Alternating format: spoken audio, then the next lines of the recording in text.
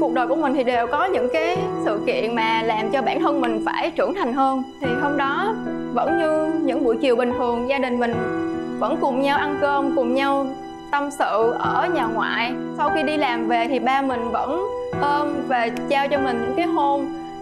Như mọi khi thì mình cũng không biết là phải diễn tả cái cảm xúc nó như thế nào nữa. Kiểu như là ba mình ôm và hôn mình rất là nhiều nhưng mà mình lại không biết rằng chính chính ngày hôm đó là những cái ôm và cái hôn cuối cùng của ba dành cho dành cho mình. Và hãy cùng chào đón lên bục dũng khí em anh thư. Xin mời em.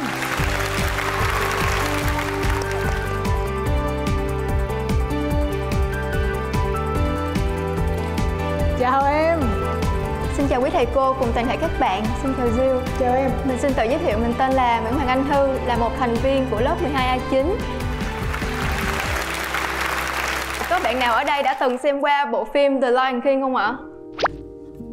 À, bản thân mình là một fan cứng của bộ phim này Và có một câu nói trong phim đã luôn thôi thúc mình không được dừng lại Mỗi khi mà mình gặp những cái việc tiêu cực. Đó là mỗi người chúng ta đều có những cái quá khứ đau buồn.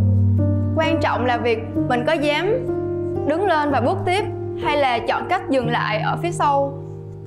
Bản thân mình vào những năm cấp 2 mình đã chọn cách trốn tránh và ẩn mình sau khoảng không tâm tối của chính bên chính bên trong mình.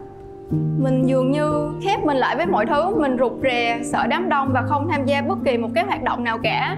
Theo như mình nghĩ thì là trong khoảng thời gian là học sinh, khoảnh khắc mà mình được ra chơi hay là chống tiết có lẽ là cái khoảng thời gian mà mọi người cảm thấy thích thú và hạnh phúc nhất vì được trò chuyện, vì được giao lưu với bạn bè. Nhưng mà bản thân mình, những lúc đó, mình cảm thấy rất là tồi tệ vì mình không có ai để nói chuyện cả.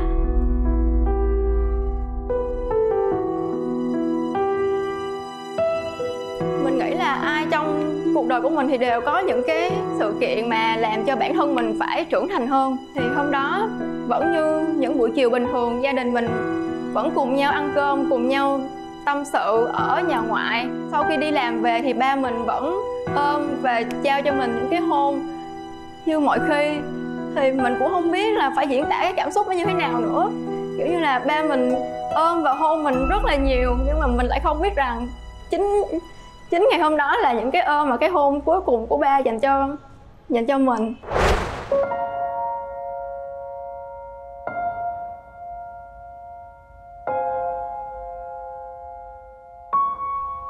Mình mình cảm giác như là ông trời đã cướp lấy đi, mọi thứ của mình chỉ trong vòng một tích tắc. Sau khi mà mình mở mắt dậy thì mình nhớ tầm tầm đó là khoảng 3 giờ sáng. Thì mình dường như đã không còn một cái gì nữa cả. Những cái cảm xúc, những những câu hỏi quan tâm, chăm sóc của ba, hay là những cái ôm, hay là chỉ đơn giản là cái tiếng gọi ba thôi thì mình dường như đã đã không có thể tiếp tục nói được nữa rồi. Tại vì lúc đó mẹ mình báo với mình là ba con đã mất do bị đột quỵ rồi.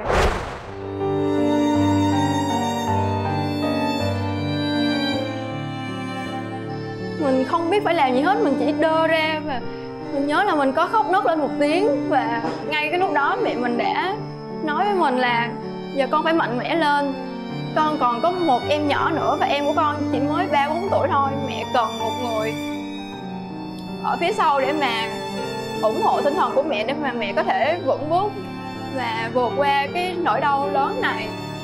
Vì thế cho nên là trong suốt một cái quá trình mà diễn ra đám của ba thì dường như là mình đã khóa chặt mọi cảm xúc của mình lại. Cái khuôn mặt của mình nó lạnh tanh và mình không thể nào mà rơi được một giọt nước mắt nào cả.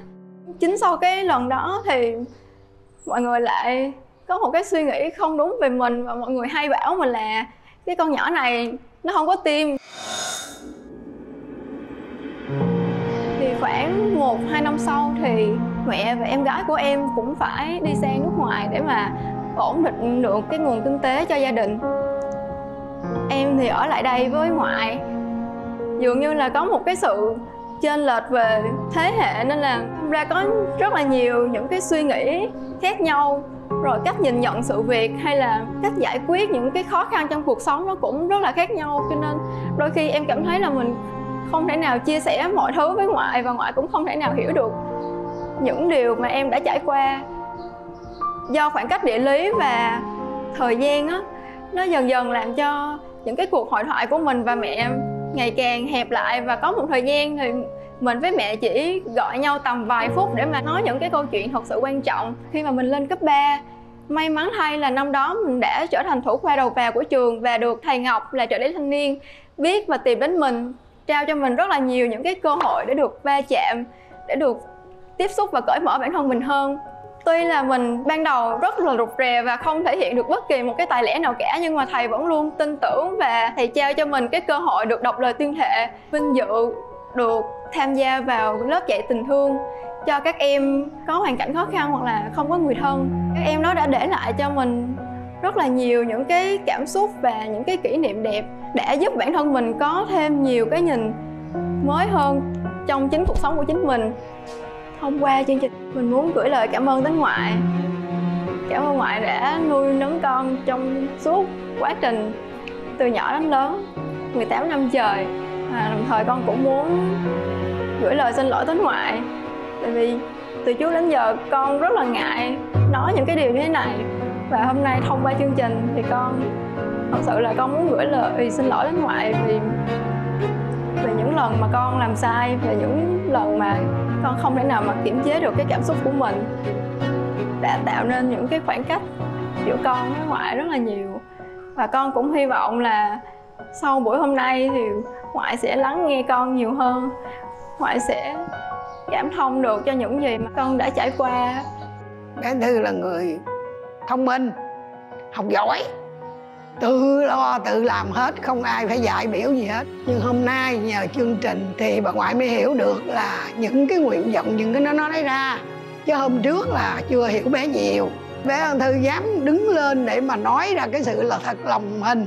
Thì bà ngoại khen bé anh thư có can đảm, có tiến bộ trong những hôm mà thư thư làm đoàn tới giờ á. Đó là bà ngoại mới thấy rõ được hôm nay đó. Chứ hồi đó giờ ngoại cũng chưa hiểu nhiều về đoàn nữa tiếp theo là con muốn gửi lời cảm ơn đến thầy ngọc. Thì thầy không chỉ như một người thầy của em, mà thầy còn là một người anh, còn là một, kiểu như là một Iron Man của đời con vậy đó thầy đã trao cho con rất là nhiều những lần được va chạm để có thêm kỹ năng và có đủ bản lĩnh để hôm nay đứng trên bục dũng khí này và nói lên những cái cảm xúc mà con đã che giấu bấy lâu nay. Và người cuối cùng mà con muốn gửi lời nhất đó chính là mẹ. Con muốn gửi lời cảm ơn đến mẹ. Cảm ơn mẹ vì đã luôn cố gắng để con có được một cuộc sống rất là hạnh phúc và đầy đủ như ngày hôm nay. Có một điều mà con luôn hối tiếc khi mà trong đợt về nước đầu tiên sau 4 năm mẹ con mình xa nhau thì con đã luôn tìm cách để mà né tránh những cái ôm những, né tránh những cái lời tâm sự cái lời hỏi han của mẹ. Tại vì con rất là sợ. Mỗi lần mà con đứng gần mẹ là những cái cảm xúc của con nó đều dâng lên hết và con không thể nào nói lên được bất cứ điều gì.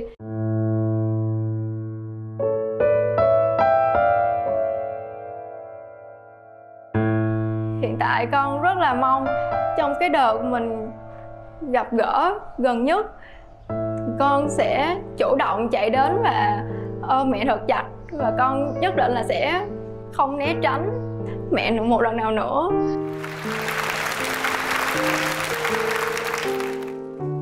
Cảm ơn sự chia sẻ của em. Và ngoại ơi. Dạ con chào ngoại. À, Cảm ơn ngoại đã có mặt ở đây ngày hôm nay. Và hôm nay ngoại đã lắng nghe được rất là nhiều cái sự chia sẻ của anh Thư. Mà trước giờ chắc con nghĩ là anh Thư ít có chia sẻ và nói nhiều như thế này ờ, Về cảm xúc của mình. Thì à, sau khi lắng nghe những cái lời đấy xong Thì ngoại cảm thấy như thế nào ngoại ha? hôm nay là được nhờ cái chương trình này mà à, ngoại hiểu được cháu. Hồi đó giờ ngoại cứ nói nó ít nói. Dạ. Rồi thôi rồi nó ít nói ngoại cũng ít nói luôn. Theo những lời con nói đó con sẽ làm được. Thành công hơn. À, được chưa? Dạ cảm ơn ngoại. Và thầy là người đã hỗ trợ và là một cái người mà giúp cho bạn anh Thư nhận ra được nhiều thứ và có động lực hơn. Thì thầy có thể chia sẻ cảm xúc của thầy không ạ? Thực sự là gắn bó với em Thư là năm nay là năm thứ ba rồi Em làm bí thư từ lớp 11 Lớp 10 em là phó bí thư. Và cũng là lần đầu tiên mà mình chọn phó bí thư từ lớp 10 Tại vì cái môi trường của mình á, Thật sự là học sinh các em, mình cảm thấy là nó còn chưa có năng động. Nhưng mà mình tin tưởng chọn em Thư vào vai trò phó bí thư đăng trường từ lớp 10 thì cái đó là một cái gì đó mà mình rất là thực sự, rất là tin tưởng. Và thực sự là em Thư có không có làm cho mình thất vọng có thể thấy là sau quá nhiều thứ, những cái cảm xúc mà em trải qua mà có đôi lúc là em phải dặn lòng mình mạnh mẽ hơn. Và chắc chắn một điều rằng là mẹ em đang ở xa. Khi mà nếu mà xem được chương trình này sẽ thấy rất là vui và an tâm hơn. Hy vọng là em sẽ đạt được những điều mà em mong muốn trong tương lai.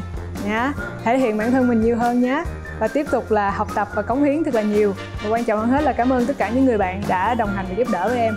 Cuối cùng thì em muốn cảm ơn chương trình đã tạo điều kiện cho những bạn học sinh của trường em có cơ hội được bứt phá bản thân, được tự tin và chia sẻ những cái câu chuyện của chính mình cho mọi người. Cảm ơn chương trình rất là nhiều. Cảm ơn em. Hãy vẫn luôn mở lòng nha. Đừng có khép chính mình lại nữa nha. Rồi, cảm ơn em rất là nhiều.